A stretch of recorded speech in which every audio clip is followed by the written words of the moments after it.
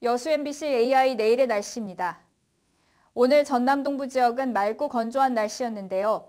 내일도 전남 전역은 쾌청한 날씨가 이어지겠습니다. 아침 기온은 여전히 영하에 머물겠습니다. 여수가 0에서 9도, 순천이 영하 4에서 10도, 광양은 영하 2에서 10도, 고흥은 영하 7에서 9도의 기온 분포를 보이겠습니다. 내일 광주는 영하 4에서 8도, 목포는 영하 3에서 5도를 보이겠습니다. 내일 남해 서부 해상은 맑은 날씨를 보이겠습니다.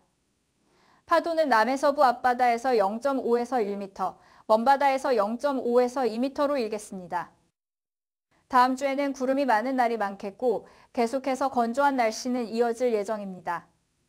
산불 등 화재 예방에 각별히 조심하셔야겠습니다. 지금까지 AI 날씨였습니다.